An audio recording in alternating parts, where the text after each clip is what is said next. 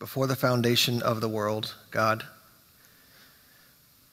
you had written your people's name in the book of life.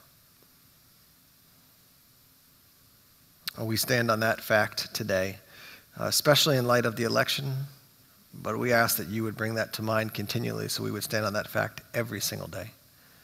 Knowing who you are, knowing our relationship with, with you, and that there is nothing that can separate us from the love of God. And because of you, we are more than conquerors. We are the redeemed. We are the family of God. We are the children of God. We are co heirs with Christ. Jesus, you said, I no longer call you servants, I call you friend. So we grab a hold of that tonight. And we pray that that would influence all the ways we live out our lives. As we dig into the scripture tonight, our prayer is that you would teach us, you'd guide and instruct us into your truth, so that we would be equipped to engage people who don't yet know you with the glory and the goodness of the gospel of Jesus Christ. We pray your kingdom come, your will be done tonight. In Jesus' name, amen. So, just as a recap, uh, last week we talked about the topic of transgenderism, and um, we, we dug into um, the cultural realities of that, and then we looked at kind of a biblical theology of sex and sexuality and how that fits into responding to this topic. And then I sent out a handful of resources uh, last Thursday. Uh, this evening, tonight, we're going to talk about the question of is Jesus the only way to heaven? And um, you could probably, you know, address 500 items over 500 weeks uh, around tough questions to answer. But I, I, find this one particularly relevant because it seems to strike a nerve, uh, particularly people who don't yet know Christ. And as they're trying to figure out Christianity, this is often a, a an issue. Uh, it's a challenging point. So I want to expand that to say that that is not just true for non Christians, but this is also a challenging issue for Christians. If Jesus is the only way to heaven, there are implications for me, there are implications for you, there are implications for the world. And so we need to really wrestle with this and get our hands around it, get our minds around it.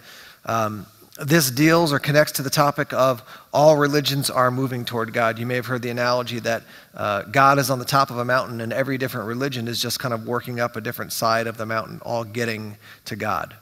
And so, if that is not true, then there are implications. If that is true, then there are also implications as well. So, let's dig into the scripture tonight uh, to figure that out.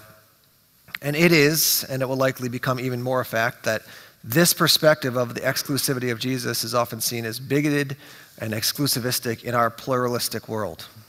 And what I mean by that is if you say Jesus is the only way to get to heaven when you die, many people would say, How could you be so close minded? How, you could be, how could you be so narrow minded?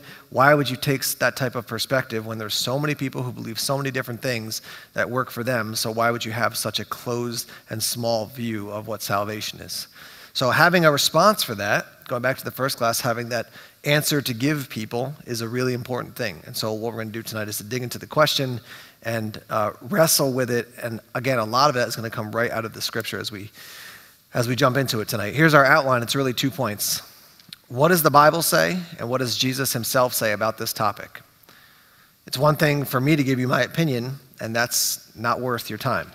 It's another thing for us to look at the scripture and say, what does the Bible say about this topic? And in particular, what does Jesus himself say? And then the next level down is to say, does, do these claims make sense? If Jesus says he's the only way to heaven, why would he say that? How does that make sense in the work, in, in light of the work that God's doing in the world? And again, we're going to spend a lot of time in the Bible tonight. So uh, if you're quick with your thumbs flipping through a Bible app, great. If you want to flip through the Bible, great. But we will spend a lot of time in the, um, in the scripture tonight. And to do that, I'm going to first just jump into some Bible passages. We won't go through all of these, we'll go through these first three. Here are Bible passages that deal with the topic of what we call the exclusivity of Jesus Christ. That the only way to get to heaven, according to the scripture, is through Jesus. So, our first question is Does the Bible say that? And if it does, where does it say it? So, here are a bunch of per, uh, passages. If you have your handout, you can look them up on your own. These are not the only ones. I did a quick search, and there's, you can probably pull 30 relatively quickly out of the scripture. I just pulled you know, the top five or six. Uh, John 14, 6 is a very um, famous passage, and we're going to start there actually. So, once you get to um, John 13, you're heading into the final stages of Jesus' earthly life. He's spending time with his disciples. In John 13, he washes the disciples' feet. And we start moving into the Last Supper and Jesus' time with the disciples, his arrest, and then his crucifixion. And that's relevant in the context. As we talked about the first week, context is king. We always study the scripture in light of what's happening around the passages, the verses we're looking at. That's important because uh, when someone is heading to their final hour and Jesus knows he's heading to his final hour, we can assume that there is a amped up intensity in what he wants to communicate to his disciples before he dies right? And so that we see um, some of the most famous passages the high priestly prayer and other things happen in, the, in this context of jesus final hours. So in john 14 jesus is with his disciples and i want you to actually look at the end of john 13 because I, I, I taught on this one time and i was just blown away by the kindness and care of jesus for his people Look at the end of John 13. Uh, verse 37, Peter says, Lord, why can't I follow you? Uh, you follow you now. I will lay down my life for you. This is Peter, the bold, brash fisherman. I'll, I'll die for you, Jesus. Jesus answered, Will you really lay down your life for me? Very truly, I tell you, before the rooster crows, you will deny me three times. That's how chapter 13 ends. Look at how chapter 14 begins. Peter, you will deny me three times before the rooster crows. Or you'll deny me, uh, you'll deny me three times before the rooster crows. Chapter 14, verse 1. Do not let your heart be troubled. Now just look at that turn that he took. You know, like, Peter, you can't, you won't even make it through the whole night before you say, I don't know Jesus. Next thing, he's like, don't worry. Do not let your hearts be troubled. Trust in God, trust also in me. And then he's describing this picture of going to heaven. In my Father's house, there's plenty of room. If it were not so, would I have told you that I'm going there to prepare a place for you? And if I go and prepare a place for you, I will come back and take you to be with me, that you may be where I am. You know the way to the place where I am going. Thomas says to him then, Lord, we don't know where you're going, so how can we know the way? Now, let's put that just the first couple of verses of 14 again in context, final stretch of Jesus' earthly life before his crucifixion and then resurrection. And he says, I'm going to prepare a place for you and I'm going to come back and get you. And then he says, You know the way. Thomas says, We don't know the way. Jesus is talking about where he will go and the place he's preparing for his disciples. He's speaking of this eternal reality, this heaven. And they say, We don't know. And Jesus responds, answering the question, how do we get to that place you're talking about? Jesus says, John 14, 6, I am the way and the truth and the life. And this next part, no one comes to the Father except through me. So I wanted to start there because that's in Jesus' own words, he is saying of himself, in order to enter into eternal life in heaven, no one gets there except through him. Now, that doesn't necessarily answer the question just by looking at this passage about, well, can someone know Jesus without personally knowing Jesus, even if they still come through Jesus? Maybe they aren't consciously aware of him. Okay, that's a different level of question. But Jesus makes the claim very clearly to say if you're going to enter into eternal life and know God the Father, then it only comes through him. Again, this is from Jesus himself. This is not someone even saying something about Jesus or me trying to overly analyze this passage. He just says, I am the way, the truth, and life. No one comes to the Father except through me. Then he says, If you really know me, you will know my Father as well. From now on, you do know him and have seen him. Philip says, Lord, show us the Father, and that will be enough for us. And Jesus answered, don't you know me, Philip, even after, I, even after I've been among you such a long time? Anyone who has seen me has seen the Father.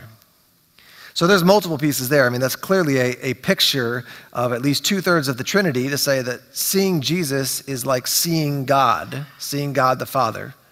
So we see a picture there of this Trinity, and we also see a picture of Jesus saying, the oneness of me, myself, and the Father is a central theme as he's teaching here. I'm going to be with my Father. I'm going to come back and get you. The only way to the Father is through me. If you've seen me, you've seen the Father. So notice here that Jesus isn't saying, I'm kind of a door, and then once you get past me, you get to go hang out with God.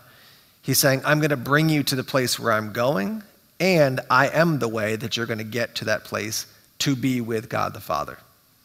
Again, from the mouth of Jesus, an exclusive claim about I am the only way to enter into this relationship, into this eternal life with God.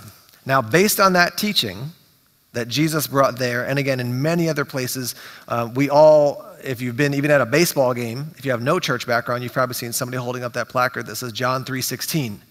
For God so loved the world, that whosoever believes in him will not perish but have eternal life. We often stop there. But if you continue to read, even within the context of Jesus and John 3 teaching Nicodemus, he makes another exclusive claim to say, if you don't believe in me, then there is no entrance into this eternal life. You already stand condemned because you have rejected God and rejected me. And so, in light of that, you need to restore this relationship to Nicodemus. You need to be born again. So, Jesus, throughout the scripture, we see, I'm just going to John 14, 6, because that's kind of the most common place where people go to deal with the exclusivity of Christ. Now, in light of the fact that Jesus taught that to the disciples, they heard that. I want you to flip over to the book of Acts and chapter 4 now. So, just one book over, chapter 4.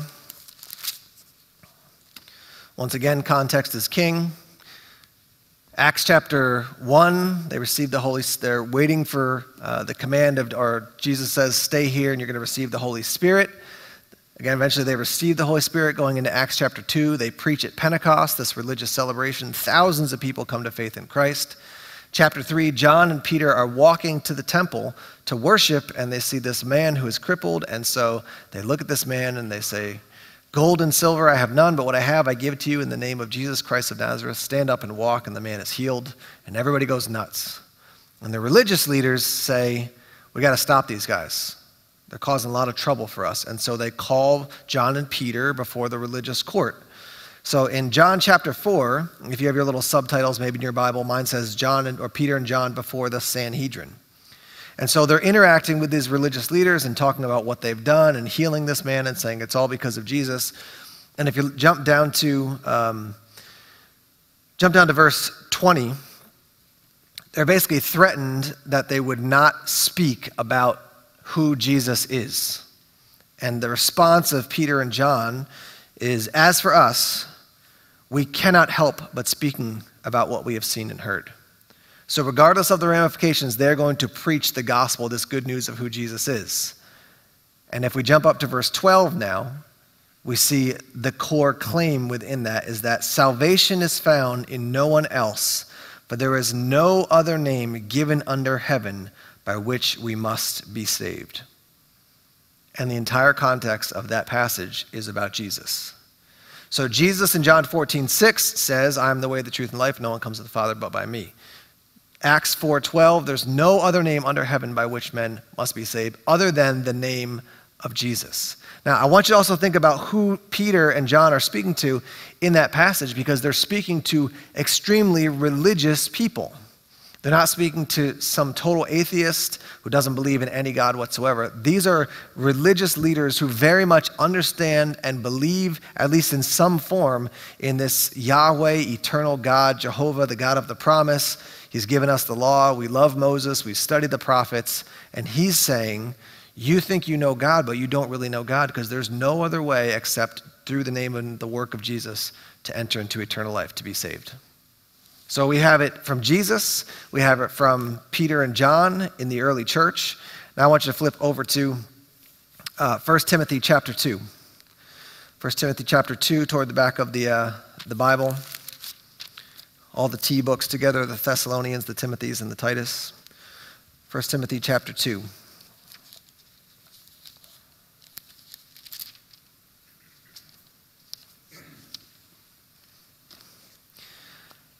In the pastoral epistle, epistles that um, Paul is writing to Timothy, he's encouraging Timothy as a young pastor, as a young church leader. And he's dealing with issues that are coming up. In the context of this book, there's clearly some sort of issues with the men, there's clearly some sort of issues with the women. He starts in chapter 2 by saying, as he's in, encouraging Timothy in his leadership, Paul says, I urge then, first of all, that petitions, prayers, intercessions, and thanksgiving be made for everyone, for kings and all those in authority, that we may lead quiet and peaceful lives in all godliness and holiness. This is good and pleases God our Savior, who wants all people to be saved and to come to a knowledge of the truth. Okay, so Paul says to Timothy, pray. I want people to pray first and foremost, and pray for those in authority, which is very fitting today to be thinking about that. Pray for those in authority that we might live quiet and peaceable lives. And this pleases God, who wants all people to be saved and come to a knowledge of the truth. And speaking of salvation and people coming to a knowledge of that salvation, the next line is For there is one God and one mediator between God and human beings, Christ Jesus. So we see it from Jesus himself, we see it from the early followers of Christ in the book of Acts, and then later on, we see Paul saying to Timothy, There is one mediator, which means one who goes in between God the Father and humans, and that's Jesus. And continuing on, at the end of that end of that verse, he says, Christ Jesus, himself human, who gave himself as a ransom for all people. So three different key characters in the scripture saying Jesus is the means of salvation. Now, we'll talk a little bit about some of the implications of that, but it's clear when you read the scripture, even just from those three verses, that there, there is a, a tidal wave at least starting to build to say, Jesus is the way of salvation. I put a bunch of these other verses up here from John, from the book of Acts, and there are many more. And you can even jump into the Old Testament and, and see some of the exclusive claims of who the Messiah will be. Jesus is the only way of salvation. Now, there are implications for you and me. Let's talk about some of those. One of those first implications is for you and me, do you have a relationship with that Jesus? Again, people have, uh, I've heard it attributed to many people. Even in the past week, a friend of mine said G.K. Chesterton said it. But people have said just standing in a garage doesn't make you, car, make you a car, so just coming to church doesn't make you a Christian. Right? And so that's important that according to the scripture, Paul says, test yourselves, examine yourselves to make sure that you are in the faith. So, first and foremost, if Jesus is the only way for me to enter into eternal life in heaven with God, do I personally have a relationship with Jesus? Now, part of the reason that there becomes a tension around that issue is because we immediately realize there are implications for us. And if we say, Yes, I'm good, we realize there are implications for the people that we know and love. Now, what's easier to do, to be candid, right, if we're really serious, to be, well, if the Bible taught that there are many ways to get to heaven, and Jesus is one, and there are many other avenues to climb to the top of that mountain, it does alleviate some of the, maybe the responsibility that I feel like I have to engage with people. But let's not run to the place of saying, I want comfort versus what I want is to really follow the truth of what the scripture says. Right? So we can run to that place of saying, well, that's uncomfortable to think about Jesus being the only way, and even saying that to someone, maybe they'll reject that, so I won't do anything at all. But again, going back to the scripture, we see the testimony of those who lived in the presence of Jesus and followed after Jesus gave their lives to proclaim that message because they believed it was so important. If you read the teaching of the Apostle Paul in the book of Romans in particular, Paul is grieved deeply that the Jewish people, the nation of Israel, has rejected the Messiah because he knows of the implications for that. If he was not grieved about that and he was like, hey, it's no big deal because they kind of know Yahweh so they can skip on Jesus, he wouldn't say what he says in the book of Romans, and particularly in chapter 9 when he says, you know, I, I would give myself away, I would have myself writ, squashed out of the book of life and give myself open to con- condemnation if they would come to believe in Christ because he realizes the implications. So we need to enter into that tension. And I'm just acknowledging that just because I get to work at a church full time, the tension doesn't leave me. Okay, so it's not like, well, you, once you, you know, you kind of, well, you're a pastor, so you don't deal with it. Oh, we all wrestle with it. Like I go through the checkout counter at Target and I think, what about this person? I'm at the gas station, I think, what about that person? Right, so we need to enter into that because that starts to be a motivating factor for us. So, from Jesus himself, I put from Luke as he writes the book of Acts, and from the Apostle Paul, we see that the exclusive claims of Jesus stand, they are in Scripture. Why does this make sense, and does it make sense? So, we need to move outside of just here's what the Bible says about it to say, why would God say that? Right? Because God doesn't just randomly pick ideas out of the air and say, here, this is how we're going to order the world. He is a clear and purposeful and intentional God. So some people might ask, maybe question number one, So, are all other religions in the world wrong then? It's a good question. It's a fair question. Um, I had a professor when I was in graduate school who she always said, if you ever get invited to be on Larry King and you get asked questions about religion, the first response is always to say, it depends on what you mean by, and then you restate the question. So, along those lines, if someone were to say, Are all other religions wrong then? What do we mean by that? If we're asking the question, Are they wrong, meaning they don't offer eternal life? The answer biblically to that question would be yes. Christianity makes an exclusive truth claim about who Jesus is, and he is the only means of salvation. What we can say is that if by wrong we mean there's nothing good in any part of any religion whatsoever, no, anybody who's thinking clearly would say that there are totally atheist people who do nice things, and there's very religious people amongst the various religions of the world that do different things, that are also nice and kind and good.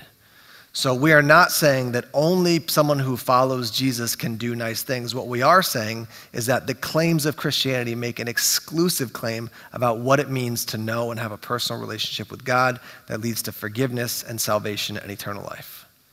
Again, there's a tension that we have to wrestle with there, but let's not run away from it because it's uncomfortable.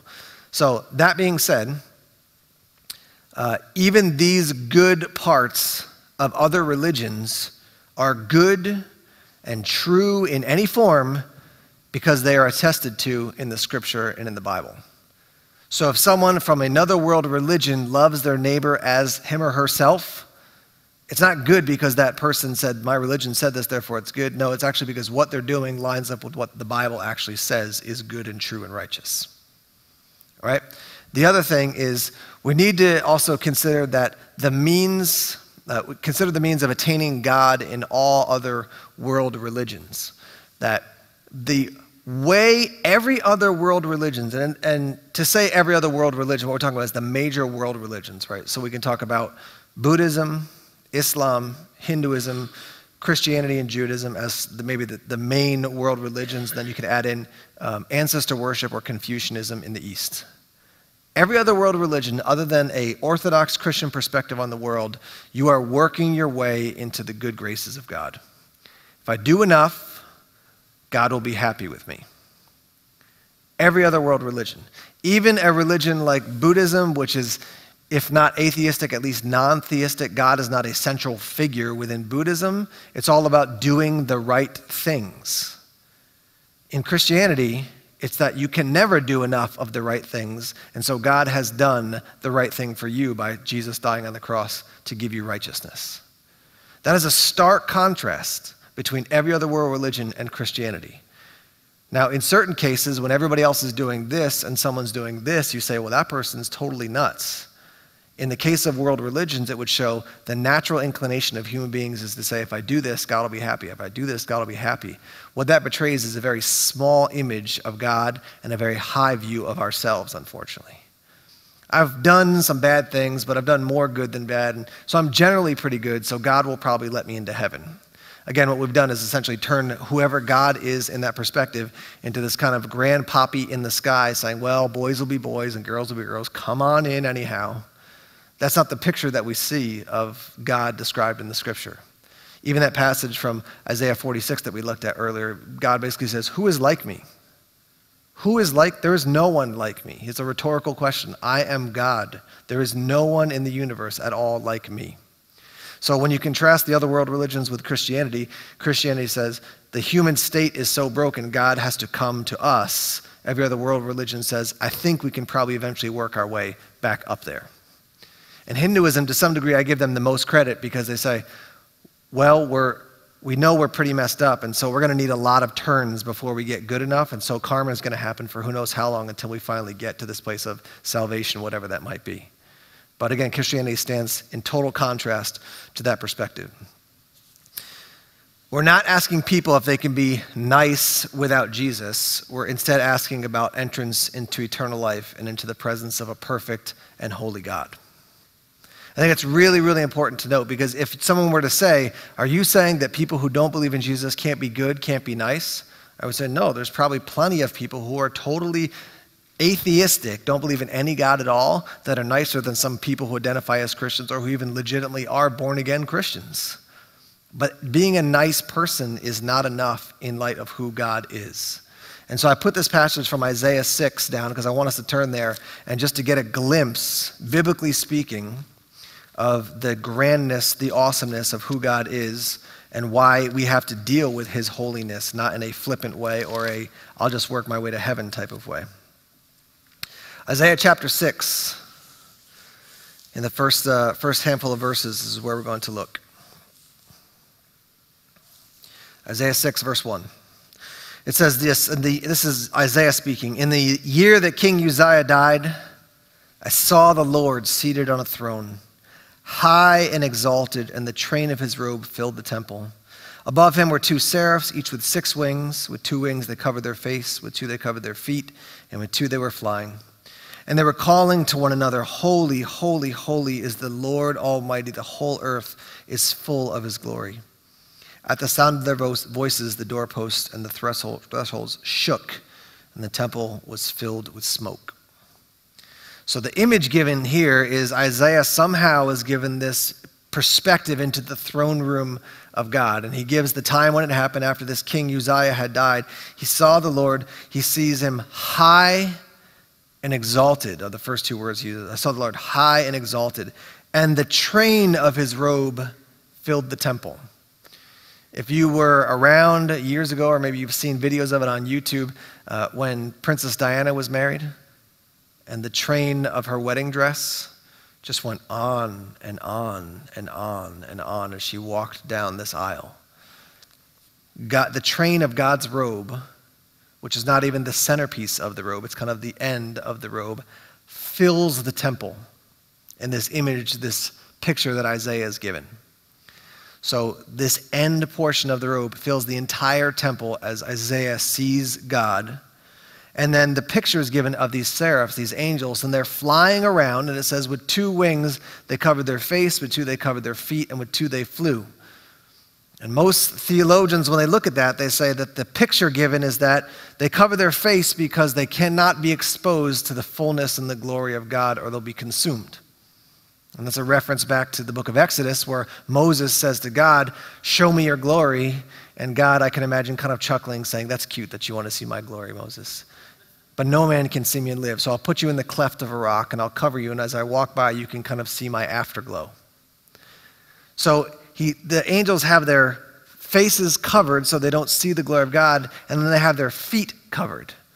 And again, most uh, commentators say that this is a picture of the feet representing earthliness, being a created being, and they, in a sign of humility and honest, reverent fear, have their feet covered to say, We don't even want to remind God that we are just created beings. And then with two wings, they're flying around.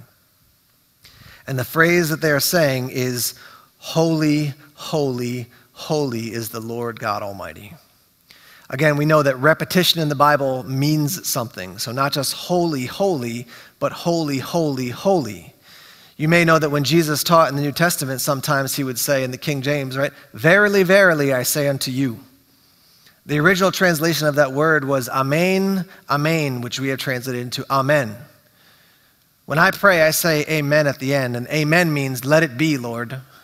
When Jesus taught, he said, Amen, amen. This is what's going to happen. Thank you very much. Now I'll teach. So he would say, Amen, amen, amen, amen, twice. When the angels are flying around, their word is holy, holy, holy. Three times is the Lord God Almighty. And then the next line they say is, the whole earth is filled with his glory. So holiness is, means set apart, totally other, totally different. That totally separateness of God is what defines who he is, and the angels sing of that. And as they sing of it, they reflect the glory of God fills the whole earth. My sense as I reflect on that is to say that they're not saying it doesn't go anywhere else, but they're saying, hey, Isaiah, since you're listening, we're going to let you know that every place you go in the universe, in the, on the earth, God's glory is there. And Isaiah, if you could fly to the ends of the universe, God's glory would be there as well. All right, so we're getting a picture of the awesomeness of God. And then it says, At the sound of their voices, the doorposts and the thresholds shook, and the temple was filled with smoke. Notice whose voices? It's their voices that things are shaking and smoke is filling. It's not even God's voice. Imagine if God spoke in that setting. The response of Isaiah is Woe to me. I cried, for I am ruined. Some other translations say, I am undone. For I am a man of unclean lips, and I live among a people of unclean lips. And my eyes have seen the King, the Lord Almighty. Isaiah's full time job was being a prophet. A prophet makes his living by speaking. When Isaiah sees God, his response is, The thing that I do best is unclean. I'm a man of unclean. He could have said, I've done evil things with my hands, but his response is, I'm a man of unclean lips. And he doesn't even stop there. And he says, And the people I spend time with, they're like me too. They are unclean as well. And I've seen who God is. Now, the reason I want to focus on this, and this may seem extensive in light of the bigger question of the exclusivity of Christ, but if we don't get who God is, then we kind of go, well, can't we just all kind of say, hey, God, I made a couple mistakes, give him a handshake and call it good? But this is who God is, and this is the picture given throughout the scripture. I encourage you to spend some time reading the last, say, 10 chapters of the book of Job. Job and his friends wrestle with the suffering of who Job is, and then at the end, Job desires an audience with God, and God says, Job, let's have a conversation. And I love the King James, it's my favorite because God says to Job, Job, you've questioned me. I'm going to ask you a couple questions. And the line he says is in the King James is, Gird up thy loins like a man, Job. Now I will question you. And the picture is of a Roman soldier before they would go into battle, they'd have these kind of extended skirts or dresses on in their outfit, and they would pull it up and tighten their belt before they went into battle so they didn't trip. And God says, Job, why don't you, why don't you get ready? Because you and I are going to have a battle. And then he starts asking him questions. And chapter after chapter, God doesn't say, This is who I am. He just says, Job, I just, just a couple more questions. Where were you when I laid the foundations of the earth? And you can see Job, okay, what? Oh, no, just a couple more questions, Job. Did you put the stars out there? Let's, let's do a couple chapters on the Leviathan, Job. The sea monsters. The th- yeah, have you ever done anything with that? Did you put the hook, the, the ring in their nose? Job, what about that? At the end, Job says, I had heard of you. Now I see you. And again, the translation, he says, I abhor myself. And uh, the reason that this is important, because if we have a flippant view of who God is and the holiness of God, then we see what Christ did and his own means of being the only means of salvation is kind of like, isn't he overdoing it? But the holiness of God demands that we engage with Christ to be redeemed and have a relationship with him. All right, so a couple passages for us to think about. Isaiah 6 and Job. If the question was just about being nice and sin wasn't a big deal, God the Father's response to sin was eternal overkill. Because God the Father sovereignly decreed that his perfect Son would die. And if that's not necessary for the salvation of people, then God overstepped his bounds. Just think about this, okay? If God doesn't demand a perfect sacrifice in Christ to be given, and then for a human to accept that forgiveness, then him having his son killed was completely excessive. Now, I just, we need to, we need to grab a hold of that. If there was another way, God could have and would have done that. But the only way was for Jesus to die. And we see even Jesus affirm that when he's in the Garden of Gethsemane and he says, Father, if there's any other way, would you please take this cup from me? But not my will be done, but your will. All right, so if Jesus didn't need to die, then why did he die? And if that is the case, God sees sin as obviously an enormous issue, which is probably the understatement of the decade here. How should God respond if one were to say the sacrifice of your perfect son is not enough? Now, Jesus, as he's teaching on various things, and I love this passage because it gives us a glimpse of the, the fatherly heart of God. But he says things like, How is it that you, though you are wicked, can still give good gifts to your children? If that's true, how much more will your heavenly Father give good gifts to you? So, if that is the case, let's invert that and let's talk about a different topic. If I took my child and donated my child to medical research so that you could be cured of a disease, and you went to the hospital in Boston and they said, because of the sacrifice of Tim and Jenny and their child, you now have a cure to this incurable disease, and your response in my presence was, Is there any other option? I'm not really interested in that. You would incur my wrath. And as a sinful being, I would not respond appropriately.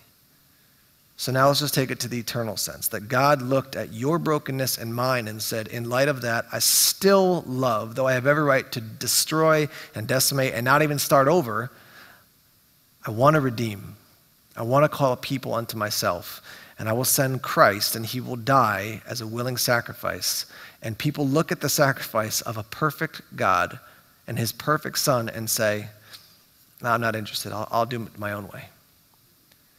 Right? I mean, again, I'm just trying to like, let's just make the analogy. If it, if it would incur my wrath, you can say, well, it's because you're wicked and sinful. Okay, that's true. But at a gut level, don't we all get the sense of that is, how could somebody respond that way to such a gift? And so if God gave Jesus to die and we say, no thanks, God's not going to go, yeah, you're right, it's not a big deal. He's going to say, I gave this for you and you rejected this perfect gift right? So again, we're having kind of a philosophical and theological to tie, tie these two concepts together. Let's be really clear here as we talk about kind of other world religions, other ways of salvation.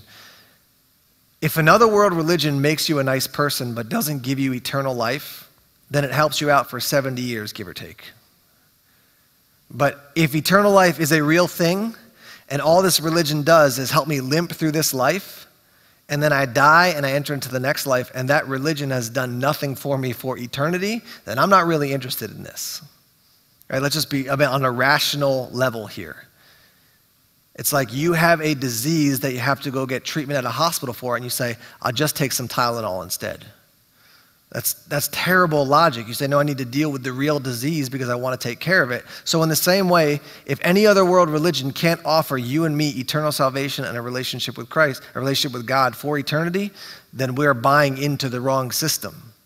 And Jesus makes the claim that he is the only way that we can have eternal life and dwell with God forever.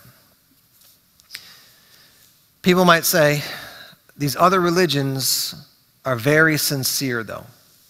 People are completely sincere in their worship or their attempt to worship God. The response, I would say, to all of us is that there are plenty of times when any of us are completely sincere and totally wrong. Now, I don't mean to be flippant about that. I'm just stating the facts that my desire or my sincerity doesn't make everything perfect. If you hurt your spouse, and then sincerely apologize, that doesn't guarantee that your spouse says, well, I guess no big deal. Right? We just know that that's not the way the world works. Or if I sincerely believed right now, today, 2016, on this day, that I am senior pastor at Bethany Church, it doesn't matter how sincere I am. If tomorrow morning I'm sitting in Pastor Bruce's office, he's not going to walk in and go, What can I do for you today, sir? He's going to go, What are you doing in my chair, weirdo? Right? Sincerity doesn't define that I get what I want. And so the fact that somebody is sincerely following a particular perspective on the world doesn't guarantee that, well, because they were sincere, I guess it's going to make it okay. Right? Again, I'm not trying to be flippant about thinking about other world religions, but we do need to be very clear that just because I have a sincere feeling or emotion or intention, it doesn't define itself, therefore, as right. One of the other core things to note is also that Christianity gets pegged often as that's the one religion of the world that says we have the only way to heaven. When you dig into all the other major world religions, there is a line every single religion draws to say, No, you have to do this or believe this or act this way in order to do this whole life and eternal and God thing correctly. Christianity often gets pointed at and says, well, you're the only ones who believe that. But if you spend a little time digging into it, you see that that's not the case. I have a, a video here from Dr. Ravi Zacharias I want to play for you. It's a, couple minutes long. And I love the line I heard him say years ago when he said, I think most people look at world religions and say that fundamentally they're the same, and kind of on the fringes, on the edges, superficially, they're different. And he just turns it upside down as somebody who's traveled the world speaking to people of all religions. He says, no, actually, fundamentally, they're the different. And then on the edges, there may be some similarities. So let's watch this video for a few minutes and hear his reflection on the differences and the exclusive claims of all world religions. Another text question is, says, if all religions claim to be truth, then how can Christianity make that claim and think that it is correct? Appreciate that question, and it's a question that has the assumption that is very correct. Oftentimes, the Christian takes the hit that he or she who is a follower of Jesus Christ is the only one who lays claim to exclusivity. That is not true. Gautama Buddha was born a Hindu, and he renounced two of the fundamental doctrines of Hinduism the authority of the Vedas and uh, the caste system. He could not accept those two, went on his own journey in search of enlightenment, and came, of course, with the uh, Four Noble Truths and the Eightfold Path and the ultimate extinguishing of desire in his nirvanic pursuit. So he turned his belief away from the religion of his birth in order to find a different answer. Islam is also exclusivistic in its claim uh, in all of its precepts and its five pillars and so on. What about these contradistinctions? The first thing we need to know is there are distinctions, there are fundamental differences. At best, there are superficial similarities. I often hear the question posed wrongly. They'll say, are all, aren't all religions fundamentally the same and superficially different? No, they are fundamentally different, and at best, they are superficially similar. What are the fundamental claims, for example? In Buddhism, the goal is to ex extinguish hunger, extinguish desire. I remember talking to the first woman monk who was from Thailand to be ordained into the Buddhist priesthood. But Thai Buddhists do not ordain women, so she went to Sri Lanka to be ordained, and she has a PhD in philosophy from McMaster University in Hamilton, uh, Ontario, and uh, Waterloo, I guess, Ontario, McMaster uh, University there. Got her PhD in philosophy, and she gave me the first interview. We chatted for well over an hour, one on one. And I sort of angled into some questions because I didn't want to be too discourteous. And one of the things I said to her is, I hear you're married. And she said, Yes. I said, You have children? She said, Yes. I said, But you're living in a temple by yourself? She said, Yes. I said, Do you not see your children? She started crying. She said, I have a car. I said, You have a car? She said, Yeah. I said, Okay.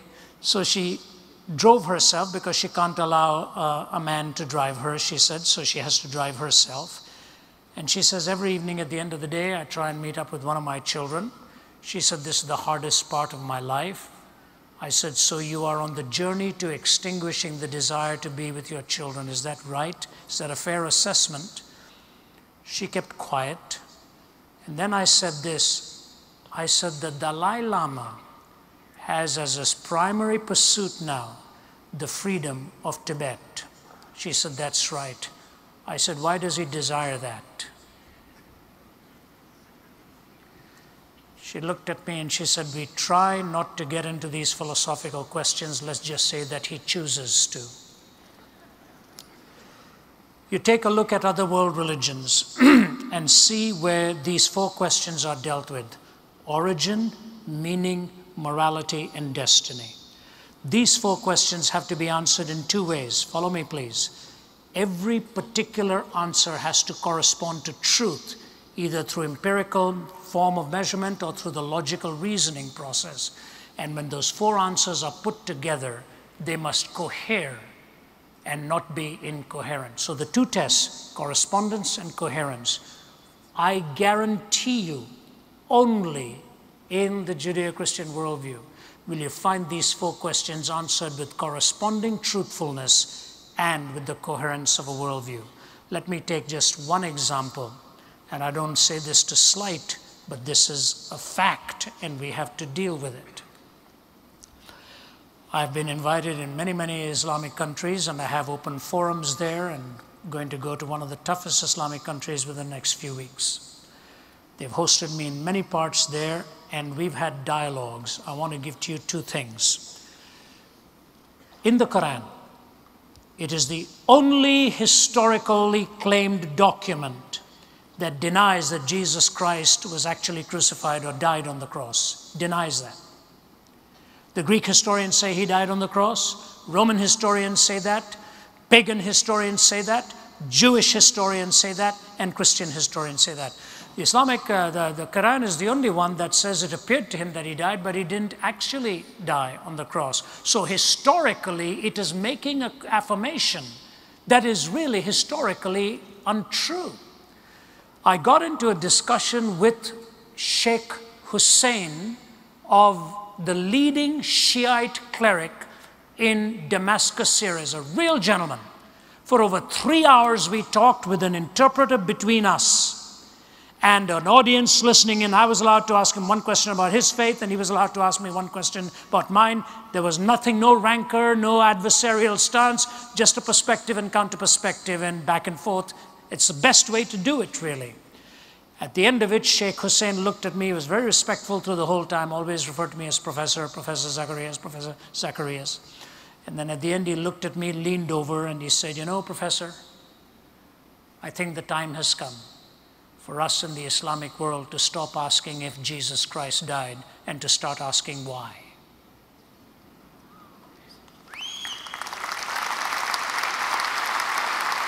I said to him, May I quote you on that, sir? He said, Yes, you may. I'm, I'm, hopefully going to go there before long, and I hope we can meet up again. Origin, meaning, morality, and destiny. The Judeo Christian worldview is not the only one that claims exclusivity, but it's the only one that takes those four questions with corresponding answers that are truthful and coherent answers that stand the test of time.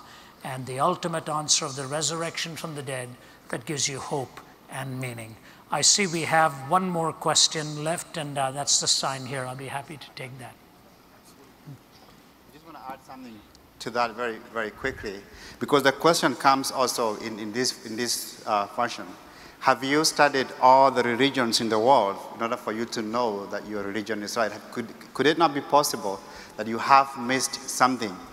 Now, that sounds like a, a very daunting question, but it's really not that difficult to deal with because all the worldviews in existence all the worldviews that exist can actually be grouped at the very basic level. Are, you could spend um, it, uh, an eternity maybe studying just one of these uh, religions. But all the worldviews in existence can be grouped under only three categories, all the worldviews. The first category is the view that only the universe exists. The other category is only God exists. Of course, you find naturalism and atheism on the, on, on the left side, only the universe exists. But when uh, you some Eastern religions will tell you only God exists, and that's cashed out in different ways. I'm just using the name, the word God, just to make it easy for us to grasp these concepts. Then in the middle, you have the view that both God and the universe exist. Both God and the universe exist, and under that you have Judaism, Christianity, and, uh, and Islam.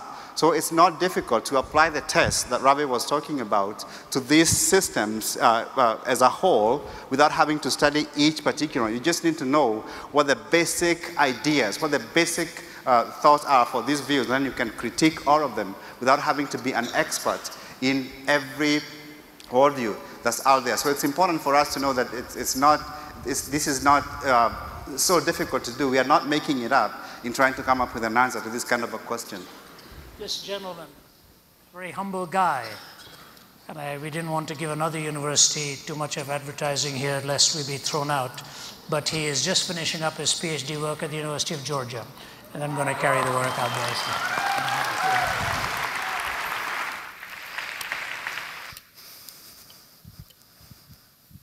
So the point we want to make here is that every world religion at some point says this is how you're in or this is how you're not in. That, that's true for all religions. And again, Christianity gets pegged sometimes as the only group that does that. And that's just, again, philosophically, theologically not too true. Let's, let's turn the corner here and ask this fourth question because this starts to frame, I think, some of our response. What about the idea of people saying, what about if people never knew or people never find out about who Jesus is? If Jesus is the only way and they never hear about Jesus, what do we do about that? Well, the first thing I would do is refer back to that passage from 1 Timothy chapter 2, which says that he, Paul says to Timothy, we want people to pray and pray for those in authority that when we live peaceful lives. And then he says, for it's God, God's will, his desire, that all people would come to a knowledge of Christ.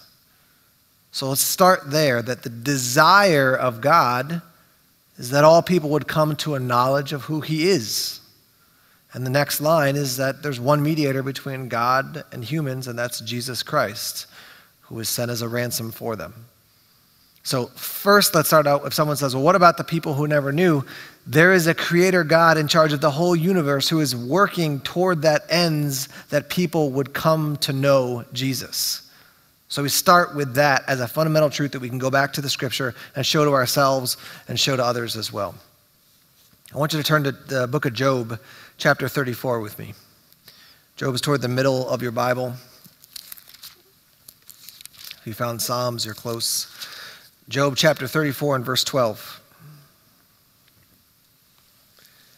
And this is just one verse from the book of Job, but it's again, it gives us something to grab a hold of. If scripture is true and infallible and without error, and it is pure and God's word communicated to us, then we grab a hold of this verse, Job chapter 30, 34, verse 12, which says, It is unthinkable that God would do wrong, that the Almighty would pervert justice.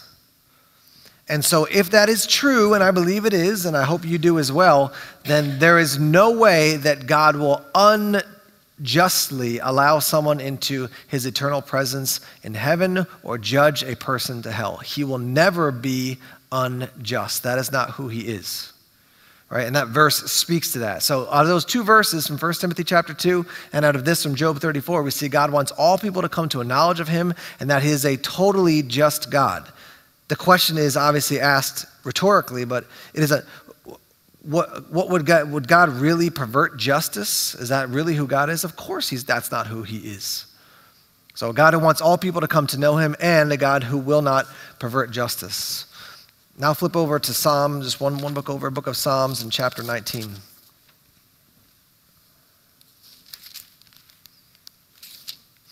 Psalm 19. So, a God who wants all people to know him, a God who will be totally just in judging all people in perfect righteousness. And then Psalm 19 reads this I've spent probably in the last six months more time in this psalm than any other place of the Bible. And it's often because I'll go and sit by the ocean and read this psalm, and you get through maybe like four or five words, and that's all you can handle as you sit by the ocean and think about this scripture. Hear this from the Word of God The heavens declare the glory of God the skies proclaim the work of his hands. Day after day, they pour forth speech. Night after night, they display knowledge. They have no speech, they use no words, no sound is heard from them. Yet their voice goes out into all the earth, their words to the end of the world. In the heaven, he has pitched a tent for the sun, which is like a bridegroom coming out of his chamber, like a champion rejoicing to run his course.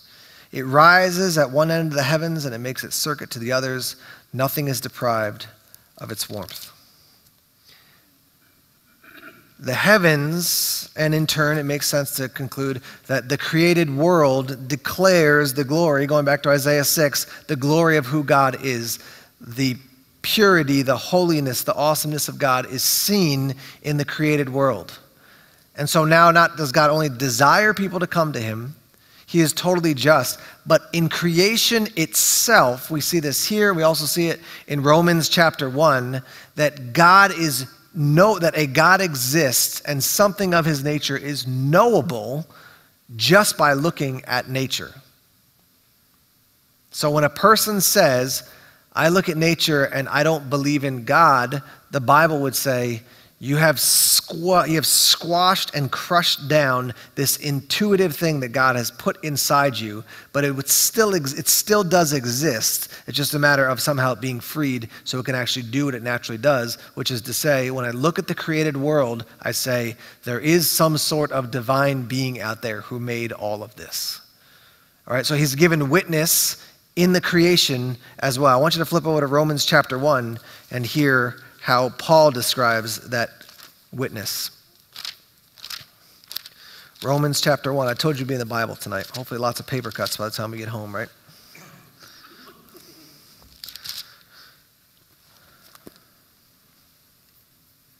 Romans chapter 1, verse 20.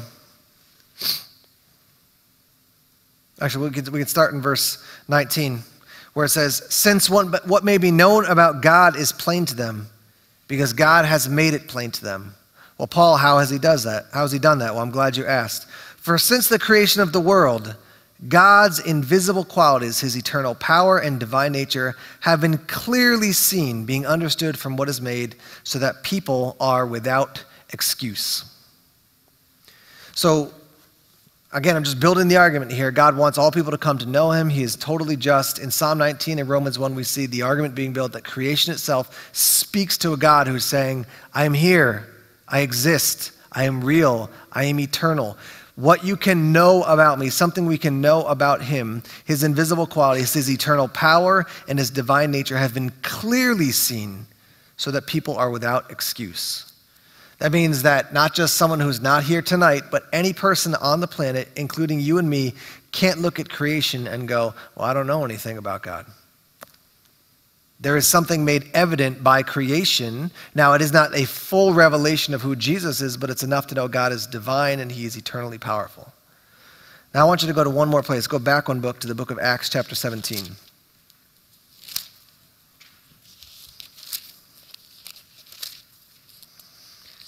The book of Acts in chapter 17.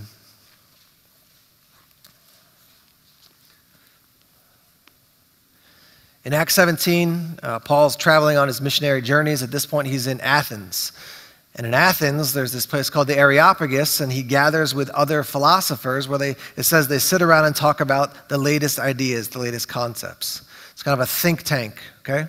And they hear Paul and this thing he's talking about, this Jesus, and so they invite him and they say, We want to hear more about this whole Jesus thing you're talking about. And so Paul's invited to share about who Jesus is at the, at the Areopagus. So in verse 22, Paul says this It says this Paul then stood up at the meeting of the Areopagus and said, Men of Athens, I see that in every way you are very religious. For as I walked around and looked carefully at your objects of worship, I found an altar with this inscription to an unknown God. So you are ignorant of the very thing you worship, and this is what I'm going to proclaim to you. So start there as an affirmation of what we read in Romans chapter 1. Paul comes and says, Hey, I can see you guys are really religious. You're so religious and in turn so paranoid about your gods that you have made altars to all these different gods. They're standing probably in, this, in the shadow of what different forms of temples and God worship is happening there in this area. But they're so paranoid they even make an altar to the unknown God. So if you would go out into the sea, you would make a sacrifice or do some sort of ritual toward the sea god so that you'd be safe in your travels. If your harvest was coming up, you'd make a sacrifice or do some sort of religious ritual toward the god of the harvest. They even have an altar that says, To the unknown God. And can't you just see people wandering up and making a sacrifice because they're going on a, a, voyage on the sea, and then they come over to the unknown God and make a sacrifice there and say a prayer that says, I don't know who you are, I don't know what you're in charge of, but I'd like to keep you happy. Here's a sacrifice. Amen. Please don't kill me. I mean, that's really what they're doing. They're saying, like, we don't know who you are, but we're going to make an altar to you just in case. You know, it could literally be labeled the just in case God.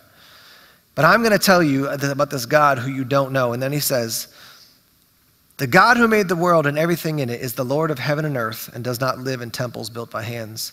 And he is not served by human hands as if he needed anything. Rather, he himself gives everyone life and breath and everything else. From one, man, from one man, he made all the nations. Now, listen to this that they should inhabit the whole earth. And he, God, marked out their appointed times in history and the boundaries of their lands. Okay, that we, I want to like just grab a hold of that before we go to the next verse. God made through one man, one woman, all the humans in the earth, and God ordained or set out where you would live, how far you would go or not go, and when you would live. So again, going back to our how we started the evening talking about the election, there is no part of God in heaven going, that's so weird that it turned out that way, man. Like he is not shocked at all by anything. He knows every single thing. When George Washington was being sworn in, he knew that in 2016 how this election would go, who would win and who would not win.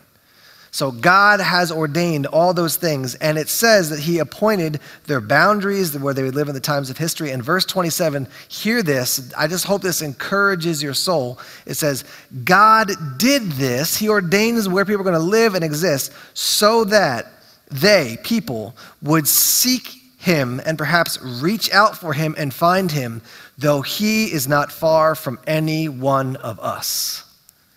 So if Acts 17 is true, and particularly that verse, if a person says, Well, I don't know if God exists, I don't know if he's out there, you can say, You know what the Bible teaches? The Bible teaches that you and I are having this conversation right now, right here, in this place, today, in this moment in time, because God ordained it so you would reach out to him and find him. And then you could say, on the authority of Scripture, But he's not far from you. He's right there. God did this so that they would seek him and perhaps reach out for him and find him, though he is not far from every one of us. And then Paul takes it to the next level and says, For in God we exist, we live and we move and we have our being. And then he says to these guys, these philosophers, as some of your own poets have said, we are his offspring. So when we come to this place of saying, but Jesus is the only way, and doesn't that eliminate everybody else in the world and all the other religions? And what about, what about, is God ignoring this people group? God has ordained not just the Greeks that Paul was talking to in the Areopagus, but you and me and every single being who has ever existed on this planet has ordained their life that they would live in such a place where they might reach out to God and find Him, though He is not far from them. And so that changes the question slightly. It says, is it that God has ordained it so that they can't reach out, or that so he's too far away? Or is it the desire of the human heart to say, I want to be in charge of me? And so if I reach out to you, that means you get to be in charge. And I don't want that, so I'm not going to reach out. The whole discussion gets turned on its head now all of a sudden because it's not about, well, God doesn't want people to. We already saw in 2 1 Timothy 2 that he does want people to come to know him. And so, if this is true, which we believe it is, God has ordained it so people would reach out. And if they don't, it's because they're saying, I realize there are implications for that. And now we are in a different type of discussion with somebody because we're saying the issue is not, is Jesus the only way? The issue is, why don't you want the only way that God has given? I love, I heard uh, one of Ravi Zacharias' um, co instructors it was Michael Ramsden teaching on this topic, and he said, you know, when you get into these types of questions, people say, well, what about Jesus? He's the only way. A great way to re-angle the discussion is to say, that's a great question, and you can talk about that, that hypothetical innocent native in Africa. He said, but how about you right now? Because we're having this question, and you do know about Jesus. So now, again, we've re angled the focus not to kind of that person out there, but instead right here, right now, what about you and me? Because we're having a conversation about who Jesus is. I would also note that if you take a look into modern day missiology and the work of the church and what God's doing around the world, that in the scope of the world right now, like if this is high amounts of conversion and repentance, church plants, and radical commitment to Jesus, and this is low, America would be on this end of things the revivals and the, and the life and the vitality of the church around the world is heavily weighted toward the east as opposed to the west right now.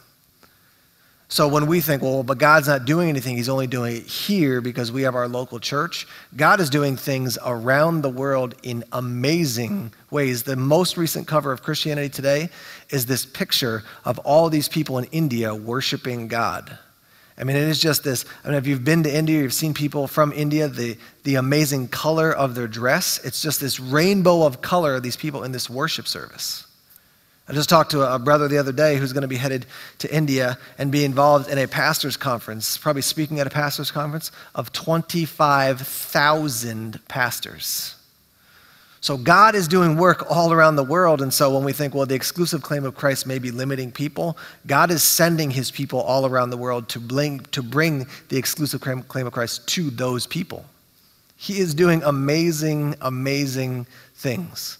I would highly encourage you to check out uh, David Platt's Secret Church. He's the head of uh, the North American Mission Board. You can go to radical.net is a great website to check out, but he talks about the persecuted church around the world and what God is doing in the midst of all that persecution. The name of Christ and the exclusive claims of Christ in the gospel are not stuck in New England or the United States of America. They are blowing up around the world. So his exclusive claim is also followed by his empowerment that his name would be known all throughout the world, that he'd be honored and glorified. Let's close here. Some concluding thoughts. God has given away to be made right with him. That way is Jesus Christ and Jesus Christ alone, according to Jesus, according to the apostles who were closest with Jesus, and according to the apostle Paul as well. The fact that he gave, uh, gave anyway is a miracle, and we ought not be quick to reject his offer of forgiveness and salvation. Uh, I've heard somebody teach on this topic one time, and they, they shared this quote that said, when people say things like, How come I can have just one wife? You know, I want to love lots of people, so how come God said just one wife? And the response is if God said you could love 50 wives and have 50 wives, you would want 51. Right? Isn't that the state of humanity?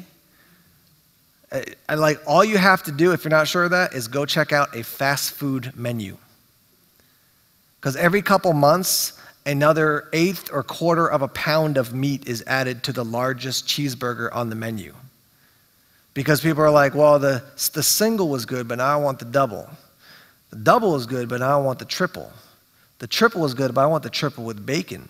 The triple with bacon is good, but now I want the triple with bacon and cheese. And let's put some onions on there. And then let's put some, some mushrooms on top of that. There is an insatiable desire in our hearts to have the next thing beyond. And that comes back to who human beings even were in the garden when God said, Be fruitful and multiply. Anything you want, it's yours. Just one thing. This one thing, don't mess with that. And where do they end up? I want that. Right? So the fact that God has given an opportunity for you and me to be forgiven to us to share that with others, rather than saying, I want multiple ways, praise God that He gave one way and that He desires to people, for people to come to know that one way. All world religions do claim exclusivity at some point, and God has offered forgiveness to all people and ordained the world to be in such a way that people can know Him. Let me close with one final thought. There are certainly um, radical and miraculous ways in which God brings the message of who he is to people. You can go to the Old Testament, you can go to the New Testament. In the Old Testament, you have angels showing up to proclaim a message to people at points. In the New Testament, we see angels showing up and doing the same thing. I think particularly of this centurion who's doing good things, he's being kind, and he's giving money toward helping people in need. And this angel shows up and says, Cornelius, you're a righteous man, your prayers have come to God. We're going to send Peter to you now so that you can hear the message of who God truly is through Jesus. But an angel shows up to say, You've been doing the right things. God does act in that way. But according to the Bible, the fundamental, primary way in which God brings the message of the gospel of Jesus Christ to people is through people. So if I start banking on, well, maybe God will send an angel to my cousin who doesn't know, to my great aunt who doesn't know, I guess, but that's like me saying, maybe God will convince this person to do XYZ by sending a plague of locusts like he did back in the Exodus. He could do that, but according to the scripture, the primary, most fundamental way that he brings the message of the gospel is through you and through me. And so we are called to be proclaimers of the gospel to the world that does not yet know who Jesus is, for the sake of his name, for the joy of those people, and for the joy of our hearts. You will never die and in heaven look back on your life on earth and go, I should not have shared the gospel so much. That was a bad choice. So if you have a default position, let it be to share the gospel with people. Here's my parting story. Years ago, when I was growing up, I started to get into the outdoors. And so, in probably the past three or four years, I started to partner with some outdoor companies to test out products that they have. So, they'll send me a camping knife or a flashlight or a tent or something like that. And by the nature of that, I've got connected to the, some of these different companies. Well, this one uh, company that I was working with, they sent me a couple pocket knives, and the marketing coordinator there who I worked with ended up leaving her position. So she emailed me and she said, Hey, I'm going to be leaving my job. Just want to let you know this is your new contact. It's been nice working with you. So I emailed her back and I said, Hey, send me your, send me your address. I just want to send you a parting, uh, you know, a goodbye gift. We probably emailed maybe 20 times in our relationship, if you could even call it that. Never met her face to face. So I went out and I bought a Life Application Study Bible, which is like $180 just to ship because they weigh so much. And then I bought a Starbucks gift card and I put it in a box and I wrote a note and I had my wife Jenny write a note. I just said, Thank you for working with me. It's been great. And I just said, Look, I have no idea what your spiritual background is. But this book has transformed my life. And I pray that you would read it and it would transform your life too. Amen. Put it in the mail. I come into work Tuesday and there's a note on my desk and I open it up and it's from this young woman and she says, My husband and I, who just got married, have just moved from Nevada to California. I got your package, and I just want to say thank you so much. And she said, I am a Christian. And I actually just bought a new Bible recently because the Bible I was given as a little kid is just starting to fall apart. But now I have a Bible that I can give to someone. And she said, I just want to thank you for the encouragement by your obedience and your boldness to do this. Can we be really honest? How bold is it to send a Bible and a Starbucks gift card to somebody you'll probably never see on this side of eternity? But God used that frail attempt to go, God, please do something with this, amen. To give a Bible to somebody who already had one, but now she has one to give to somebody else and to encourage her to be more bold about sharing her faith in Christ. So we sometimes think it only happens when we stand on the street, street corners and proclaim, but in the simple act of faithfulness in sharing and loving people and bringing the gospel to people, God is already 25 steps ahead of us working and preparing that person for that interaction. Let's bring the beautiful claim of the gospel of Jesus, his death on the cross for the forgiveness of our sins, to the world because we are the primary means that, by which that happens. What a gift God's given us that we might be part of that story. Let's pray.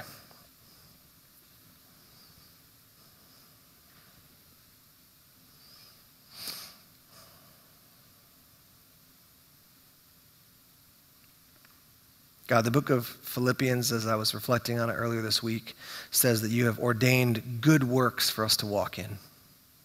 The greatest work that can ever be done is to bring the message of Christ to people and have them respond that they might be saved. And so help us to know the scripture enough to know that you are already preparing people and conversations and interactions so that folks would respond to the gospel. And give us boldness to do it. Give us confidence in the gospel. On the scary side of our discussion tonight, Lord, that there is only one way, but let that motivate us because there is only one way. And I pray that you would help us to examine our own hearts, that we would see the grace and the goodness and the joy you've poured into our lives, and we'd experience it more fully so that when we share the gospel, it's not, I'm doing this because I have to, but it's, I'm doing it because God has transformed my life. I want Him to transform other lives too.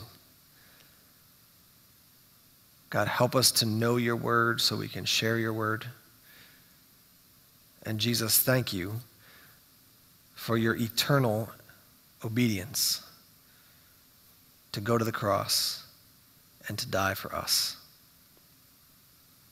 While we were yet sinners, you gave your life as a sacrifice for us. not just in an intellectual way, but in a deep heart, soul, spirit, Holy Spirit driven way. Help us to get that deep inside so we might be blown away by the grace you poured out into our lives, and that would again motivate us to share with others. We bless you, God. We pray in the name of Jesus. Amen.